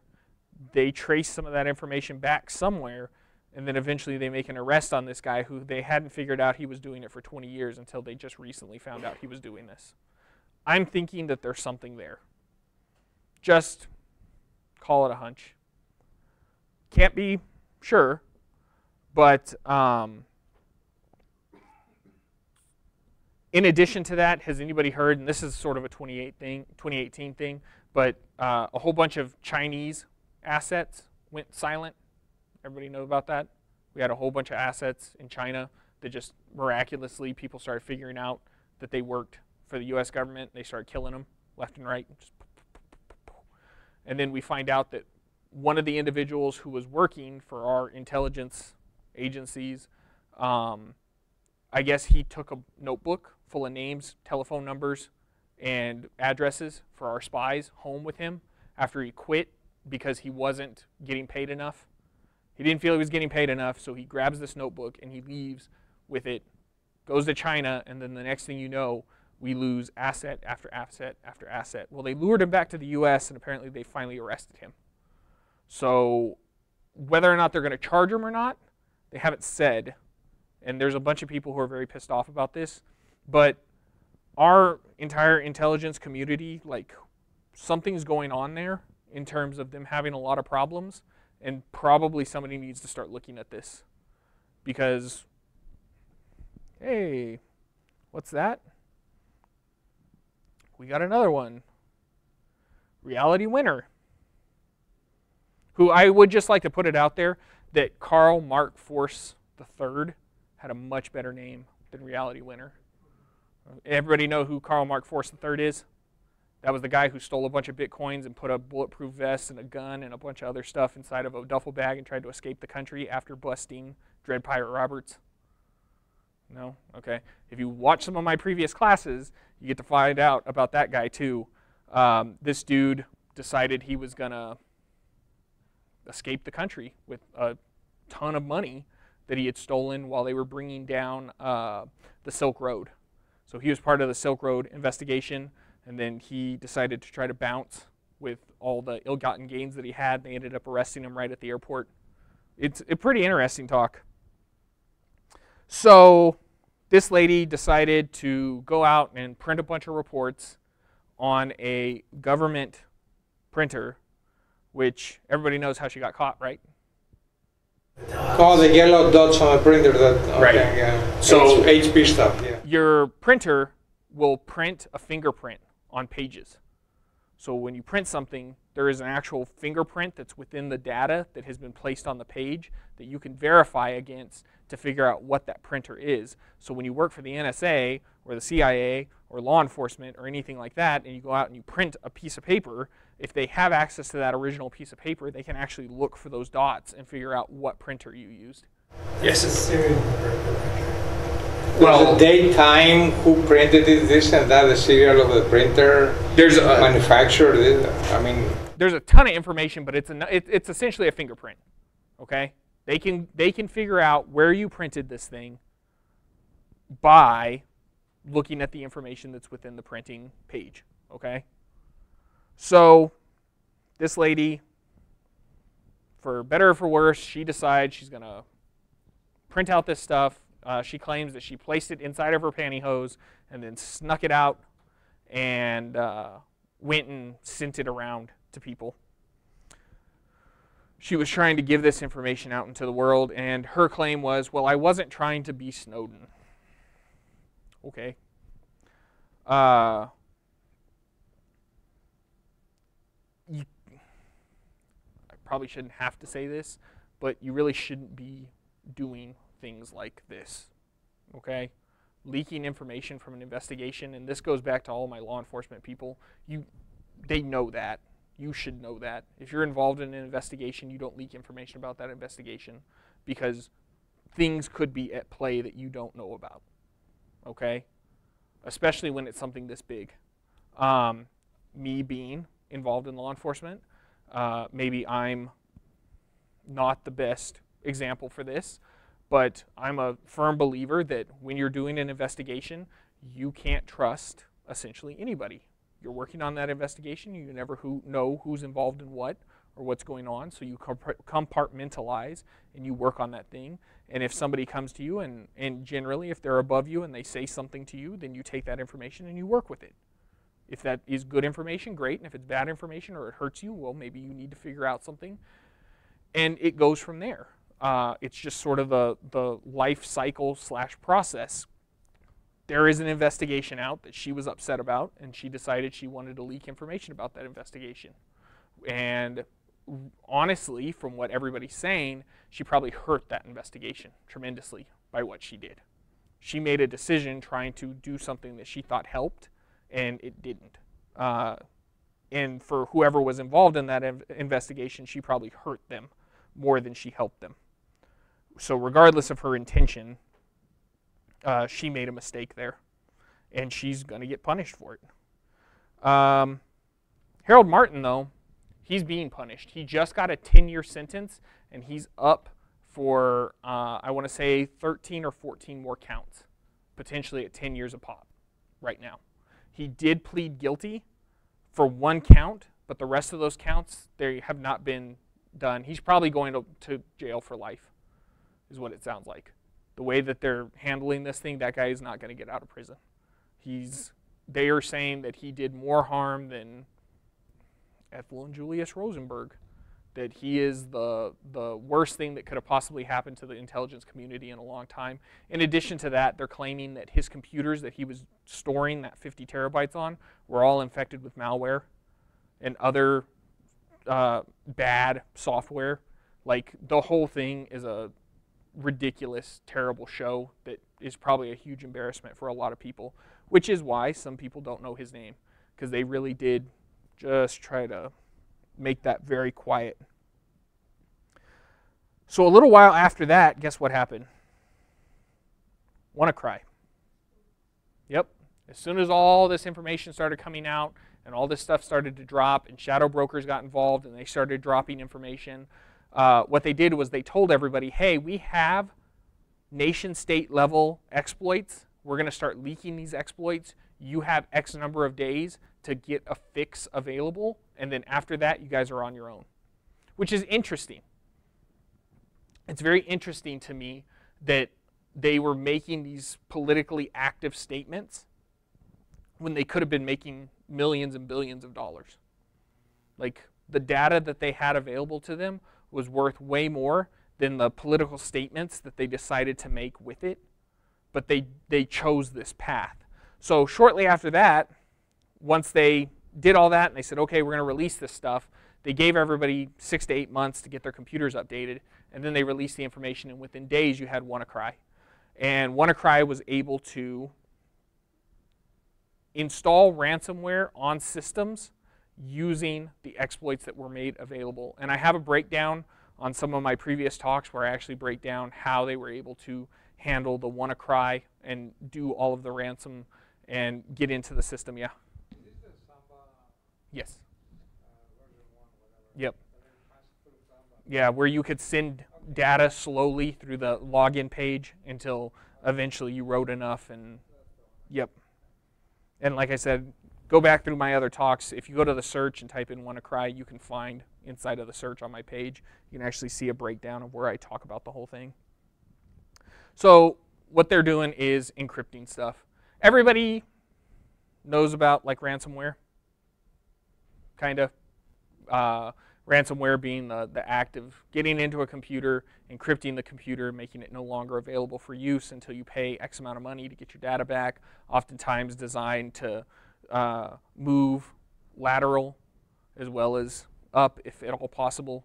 So if you have other users on the network, it's going to try to get out to those other users so it can encrypt their data as well, so on and so forth. Um, again, they're making a ton of money off of this stuff. It's easy money, and it's, it's not going to stop. They've discovered the goose that lays the golden egg, and this thing is just going to keep going. Um, WannaCry was a really, really big deal. But in addition to the, the, the situation that happened with that, I want to talk about the gentleman who was arrested at Black Hat, or I'm sorry, not Black Hat, DEF CON. Uh, what's that? Okay, so there was an arrest made because a gentleman decided, or a gentleman claimed to have found the kill switch for WannaCry, and as soon as he found that kill switch, he registered a URL, and then the whole thing shut down. And um, they sort of lauded him as a hero, said that he was a superstar, hero, excellent guy. Um, his I want to say his Twitter handle was MalwareTech. I don't know the guy's name. Uh, I just know him by his Twitter handle, uh, MalwareTech. Now, WannaCry began spreading. You had people from every single agency in the world looking at this thing. British intelligence, U.S., uh, Microsoft. This WannaCry hit the national health system out there in Britain. All of these things were falling down very quickly, right? And then this sort of relative nobody jumps in, immediately finds the cure for WannaCry, and shuts the whole thing down. Right around the time that they start making announcements that, uh, you know, potentially it's going to kill people because of what's happening at the NHS. Okay? Now, I'm going to be a little bit of a conspiracy here, theorist here. This gentleman jumps in there and finds the cure, right? Shuts the whole thing down. Now, for those of you who have never worked in law enforcement, if you've ever had to investigate an arson, sometimes you'll find that the person who discovered the thing on fire or put out the fire was often the person who put the fire there in the first place. Okay? Um, MalwareTech shuts this whole thing down, and then he goes to DEF CON. And then while at DEF CON, he gets super drunk and parties real hard, is his claim. And then government swoops in, picks him up, arrests him. And then we find out that he was involved in some credit card scams, and he was involved in essentially a bunch of black hat stuff designed to make him money. Okay? But the people that he had contact with were potentially people who could have worked on or asked for help with what was going on with WannaCry. Like he was in that group. I and again, just personal opinion, but I wouldn't be surprised if one day we find out that he was involved in some way in designing and building this thing, and then they cut it loose and it grew faster than they expected it to. You know, you take the matches and you throw them on the wood pile, and poof, the wood pile turns into a giant blaze, and he runs out and grabs the water hose and puts the thing out, and then tells everybody, "Look, I'm a hero." And because uh, it's kind of hard for me to think that with all the eyes that were on that system, it was just some rando dude who just found the, the cure for it. Doesn't usually happen like that. Haven't really ever seen that, so first time for everything, but interesting. So then, during this period, uh, a lot of people don't really keep up with what's going on in Russia and the Ukraine and that whole area in terms of malware and stuff. But there was an attack called Petya, and then another one called Not NotPetya that was happening, that which was kind of their version of WannaCry in a way. Uh, it was designed to target people in Russia and in the Ukraine. But of interest here was they weren't trying to make money. They designed the ransomware, they set it up, and then all the back end that they needed to do to make sure that they could accept bitcoins and all that stuff, they didn't do any of that. They didn't care. They just cut this thing loose and it started encrypting people's data, and then they just left it there. It was just destroying people's information. It wasn't designed to make anybody any money. There was no kind of backup for it. There was nothing really there for them to be able to accept money in any way. Nothing of the sort. It was just designed to start destroying and breaking things. And they cut that loose over there. And there wasn't a whole ton of uh, information about it. I mean, it really didn't affect us. It affected Russian speaking countries. Wasn't it based on some Ukrainian accounting software? Well, well, they were the initial avenue of release for that. Like, that's how it got out there initially. Which essentially it's just get somebody to download something and click on it, and then away they go. Bad Rabbit, another one that was happening over there. Uh, they disguise theirs as a flash update. Again, if we can get you to click on something, if we can get you to say yes, yes, yes, continue, yes, and then hit the button, then we can get access to anything. That's NBC, right? NBC never be clicking. Because most people operate on ABC, always be clicking. And we want NBC. You got to teach people stop clicking on things, especially whenever it offers you an update and it's not coming from somewhere that you asked for. And to be honest with you, for some of these things, even if you ask for it and you go to the right web page, it doesn't matter because they could potentially have already put a whole bunch of malware inside of something what happened with Linux Mint, right? So Linux Mint, their entire development chain and the, the system of releasing copies of Linux Mint got popped and somebody was able to inject malware directly into the ISO and then distribute it. So people were installing infected copies of Linux Mint. The funny part about that is that same guy ended up breaking into the web server and changed the MD5 key. He did he changed the MD5 so that when you checked it, but then he looked and nobody ever actually checked the MD5, so it didn't matter, and he was pissed off. Well, because nobody ever checks that. Yeah, who does? Other than, well, I, I do sometimes. Sometimes. I don't always do it.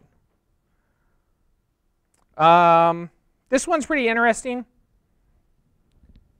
200 million voters had their information leaked online so I'm not going to make, they were all supposed to be uh, 200 million registered US voters that are all part of the GOP. But you should look up the number of registered voters in the country, okay? I'm just gonna I'm gonna give that to you all. If you want a homework assignment, there's your homework assignment. You should look into this more because it's very very interesting. Because it was 1.1 terabytes of data and they didn't put any password protection on it, and there was nothing to secure it. Guess where most of that data gets stored? Anybody want to take a wild guess? cloud. Excel spreadsheets. Th- That's funny. That's actually humorous. But no, Amazon, AWS. Yep, Notepad. yes, when you're storing 1.1 terabytes of data, it's best to do it in Notepad so it's easy to awk. um, so, Amazon AWS. If you do not know what you're doing with Amazon AWS, please stop using it like at least take the introduction class, like that five minute welcome to the, the five minute welcome to Amazon, because over the past couple of years, they've actually added security by default to much of Amazon AWS. Okay, so you go and you set up your database, and they actually try to secure it for you, and then you have to take that stuff off. You remove the security. Yeah, but anything that's been there a while was under the old regime, which is the exact opposite, and no, they haven't gone back and fixed that. no, nobody's fixed any of their stuff. Um, when people go online, like if you go to the Bitcoin forums and they ha- they ask like, what's the best way to mine for things like bitcoins and stuff like that, they will tell you to just go look for somebody's Amazon AWS credentials out on GitHub, and then to go get into their Amazon AWS, and then to spawn as many servers as you possibly can to do all your mining on. That's sort of the recommendation nowadays if you want to be able to make money in crypto from actually mining. Use somebody else's account on amazon aws uh, which it's sort of half a joke but kind of also serious these companies are not doing any kind of security they don't care equifax admin admin who cares no passwords whatever doesn't matter they're sticking information up on the internet and they're not thinking about the fact that um, you can find this stuff. What's the program? The best, the one I anybody know the program that I push all the time here for being able to automated find vulnerable stuff. What do I tell everybody to use? Starts with an M. Masscan. Yeah, we had a little class on Masscan. You can go in and you can set a range of IP addresses and a range of ports, and you can just go look and then it will come back and tell you for every single one of those IP addresses whether or not those ports are available, and it takes like five minutes. It's super fast. Yes. Didn't the uh, British Secret Service also uh, publish one of their tools that does something very similar? Uh, I have no idea. Probably. I wouldn't. I mean, I wouldn't be surprised. It's not shocking. They put it up on their GitHub account. Oh, cool. Yeah, you should send out on the Linux uh, mailing list. Send out the GitHub account for British intelligence. No, they, they, they have an official one. They released it. mi6.uk, come on. no, thank you. It's a couple terabytes of data from That's the easy, yeah. So I have a few more things I want to go over. We're going to try to get through as much as this. I might have to jump some of this. Um, Dark Overlord. Uh, Dark Overlord was extorting Netflix, and then when they got bored with extorting Netflix, they started extorting um, high school kids because that's a step up. Um, they were stealing stuff from Netflix, and then after they were done stealing stuff from Netflix, they told them like, "I'm going to try to release your information for like Orange is the New Black or whatever that web page, that show is." They were going to put it out on the internet. Netflix said, "We're not going to pay." They said, "Fine." They put it out. It didn't matter. It didn't really hurt anybody's profit margins, I don't think. So then they started going off after uh, parents and kids at high schools. They grabbed a bunch of information that was leaked about parents and children that are enrolled in schools out here in the U.S. and they started sending bomb threats, threatening to kill the kids, and then telling parents that they had to send them money if they wanted their kids to be safe. Uh, the FBI had to put out a like a thing that said, "Don't give these people money." Uh, Uber Uber got in trouble because of the fact that the bunch of information for Uber was hacked about drivers and customers. And then after hacking the drivers and customers' information, Uber got in trouble for not protecting that data. And then Uber got hacked again, and 57 million Uber customers' data was leaked. So Uber went to the hackers and gave them $100,000 and told them to please. That's an interesting number. Didn't we just talk about that number? Like a little bit further up? Yeah. here's $100,000 to stay quiet, and then guess what? They still leak the information. Oh, surprise, surprise. Shocking. Uh, but guess what? They paid that $100,000 during that period of time when there was a huge court case about the fact that they were having problems with privacy. Uh, so now Uber is in court while they're making a decision right now whether or not you should put CEOs and executives in jail for hiding leaks. And that's a big deal. If that goes through, that is a huge deal. Where if not if you're breached, because breaches happen. You could get hacked. Anybody can get hacked. But the idea is, is if you were a company and you get hacked, you have to tell us. You have to tell law enforcement. You have to tell your customers. You have to do something to protect them. You can't just pay out a $100,000 bill to somebody and then go, oops, when your database shows up online somewhere. Okay? This is a big deal. If that goes through, that's going to really change the face of how security breaches are handled. Yes? Uber also has a system in place that when a government or a tax authority shows up with their one of their offices anywhere throughout the world, um, they have a hotline to a kill switch that encrypts all of the local countries' drives and kills everything when they show up at to raid their local offices, like in Paris or wherever. And uh, their offices are designed to slow the investigators down so that the systems have an opportunity to get wiped or totally encrypted before the uh, subpoena can be served. Neat. I'll have to look into that. Uh, WikiLeaks, they leaked Vault 7. I archived it, did an archive IS. Uh, they've got a press release and all that information, and they have tons and tons of documents that are available. Uh, it's all very interesting. I recommend that you read it. Oftentimes, one of the problems that I see is people only read about the WikiLeaks by seeing what a news agency wrote about it. Uh, you should actually find out what's really going on. Okay, don't let somebody else filter your information. Hell, don't let me filter your information. That's why I put all these links here. Okay, because I'm telling you about this stuff, but then you should actually come here and click on this stuff and read about it. Now, I want to show you the most kick-ass, best bug report I have seen yet. Cloudflare had a situation called Cloud Bleed. Did anybody hear about that? Okay, so Cloudflare had an issue. It was called Cloud Bleed, and essentially you could go in there and you could pull, pluck data from memory out of Cloudflare for a little while. These guys went in here, show you exactly how the bug was triggered. Then they showed you why it happened, what they did that caused it, how it would be used by a malicious actor, and then they go in and they identify how they went to look to see if anybody was exploiting it. And they show you everything. They break the whole thing down from top to bottom. This is the best breakdown of a breach or security incident I've ever seen that was done publicly straight off their webpage and they just give it out there. This was fantastic. They've done a bunch of dumb stuff this past year, but this was awesome. I can't believe that they did this and did it so well.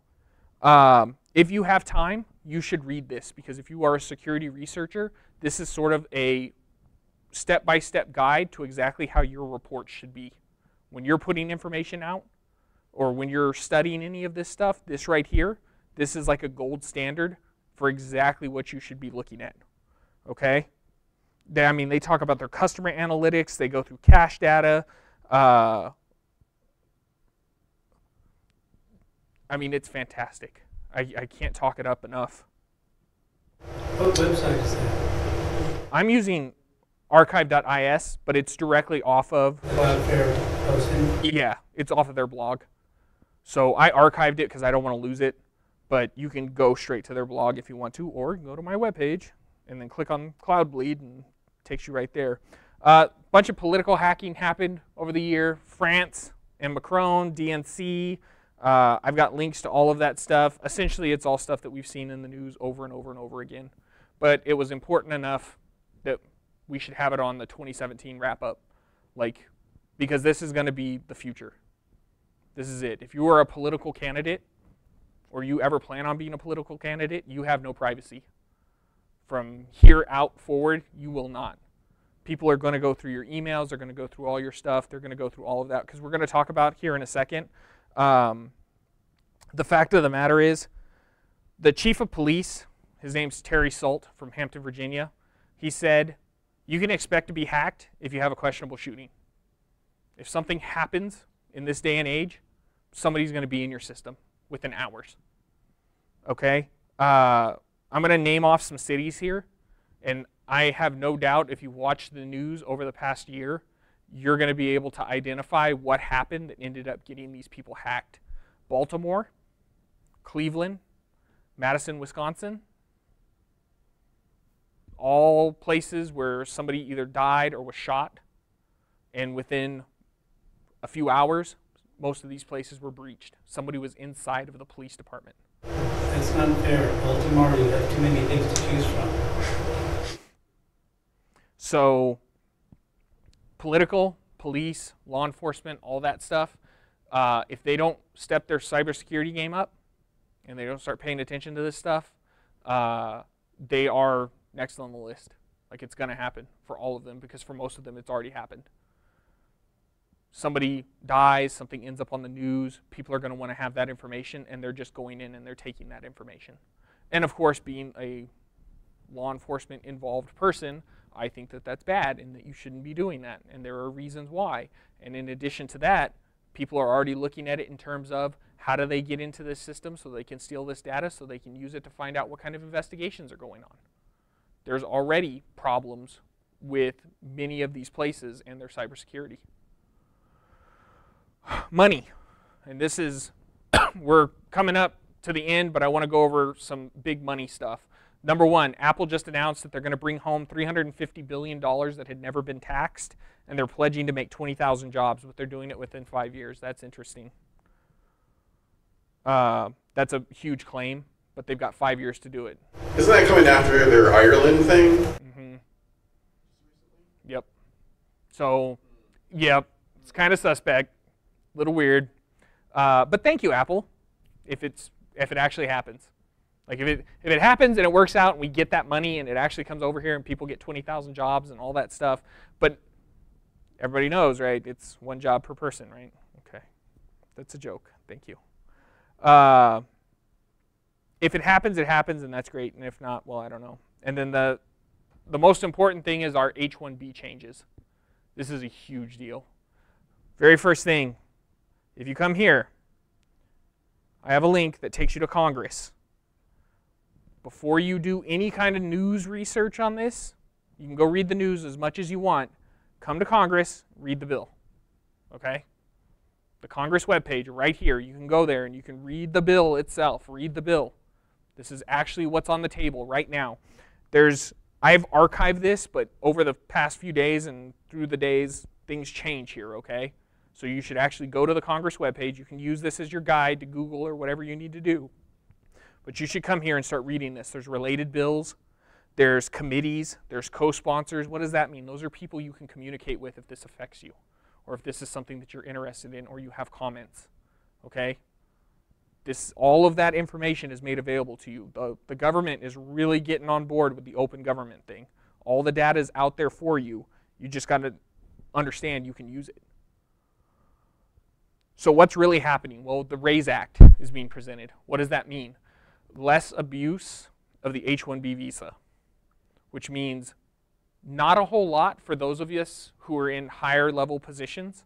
Like if we've really gotten up there past like that entry level position, probably not going to affect us that much. Because the whole idea behind the H-1B visa being that if you have an advanced job that requires an advanced person, then they can go to a foreign nation to grab that advanced person to come over here to fill that job if there's nobody available to fill it from the US. That shouldn't be for entry level IT positions, which this is changing that. Um, Congress puts in the RAISE Act. They're saying that if you have an entry level IT position, there should be no reason why you can't fill it from the many, many, many unemployed students and so on and so forth that we have that are being pushed out of colleges with a degree and no job to go into. So if you go on to places like uh, USA Jobs right now, if you go on to any of the job web pages, and if you go onto LinkedIn, uh, people are actually pushing right now a lot of jobs. There's a ton of stuff IT related at usajobs.com right now, or whatever. They're, the USA jobs, the, the government jobs for the US, tons and tons of jobs right now. Loads of them. Um, I've been getting tons and tons of communication on things like LinkedIn of people hitting me up, asking me about filling positions and stuff like that.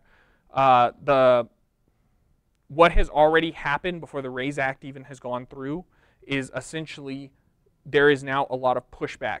Uh, more than 95% of H-1B visas right now, and this is coming off of the India Times, more than 95% of those H-1B visas are now being sent back for additional information. Why are you paying such a low amount to this person when they need to fill this job, which we would expect they would be paid more for? Uh, they're asking questions like, how many times did you put this job out and try to find somebody here in the US? Uh, they are pushing these back. So again, if your career is kind of already higher up, probably not going to affect you that much. But for those people who are trying to get a career started in IT or in cybersecurity or move around, uh, this is a big deal for lower. Uh, if you notice when you're looking at some of these Indian web pages, they use the word freshers. I don't really use that term, but fresher apparently means somebody who is relatively new to a career path, just so you know. Um, so they will refer to these people as freshers for new programmers and stuff like that. Yes?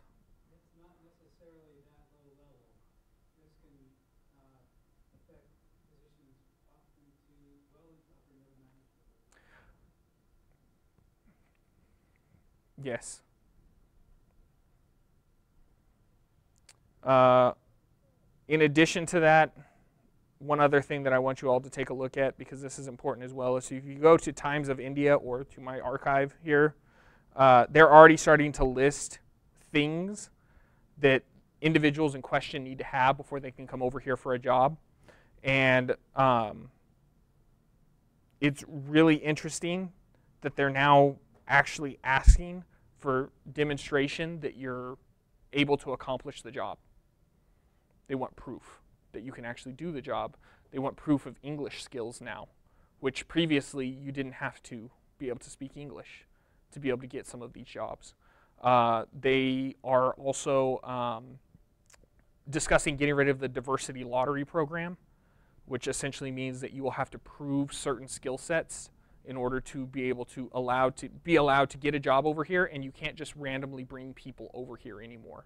Uh, that person has to be able to contribute. That even has a clause in there that says that you must be able to demonstrate love of country, love of the U.S. I'm not exactly sure what that is going to require. Yeah, I don't know. I don't know, and they don't either. But you can see inside of the comments and the discussions at like I said, Times of India and some of these other Indian web pages, there's a whole bunch of stuff in there that they're extremely worried about.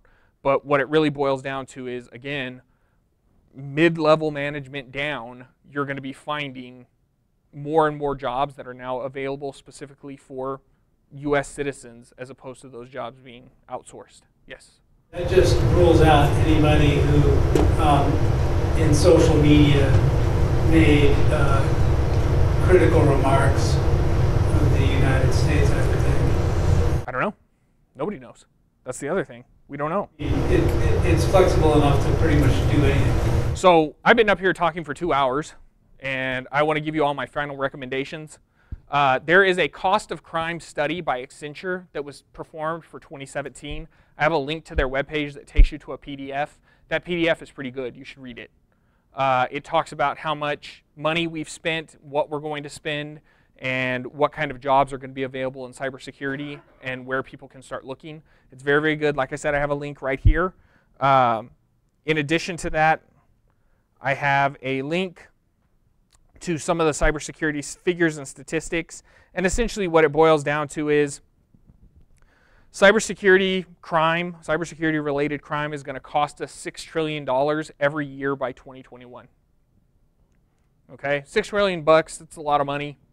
And that means more money is going to be spent on cybersecurity and people who know cybersecurity. And in addition to that, I'm still a firm believer of the whole see one, do one, teach one. So everybody here should be setting some goals in terms of you need to be going out and building your skills, helping other people build their skills, and then demonstrating those skills because it will help you. Getting up and talking in public, finding places that you can go talk, setting up your GitHub. Everybody here got a GitHub, right? Anybody not have a GitHub? Get a GitHub.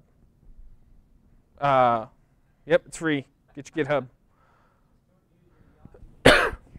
That's right. Uh, start applying for new jobs if you want to. Exploring your options. IT jobs are back on the menu for Americans. We have tons and tons of them. USA Jobs. Go check that out right now. Uh, when you get home, look at USA Jobs. Tons of cybersecurity related jobs on there right now. Lots. Like a lot, a lot. Uh, get involved. I just said that, but I'm going to say it again. And usually, the number one thing that I tell you all is use Linux for 2018. I shouldn't have to tell you. Which Linux? Probably the good one. Get, yeah, get right. Install Gentoo. Yes, I know who goes on G. um, so use Linux, get involved, get your GitHub. Uh, any any questions? No. Thank you for spending your January 2018 evening with me. Uh, I hope this has helped all of you. If you have any questions, don't hesitate to contact me. Uh, sign up with the, everybody knows about Plug, obviously, so sign up on the Plug mailing list, send out messages. We have lots of conversations, get mad at each other. Uh, tons and tons of stuff that's going on, and uh, thank you. Thank you all. I hope this has helped at least one of you. So have a good night. Drive home safe.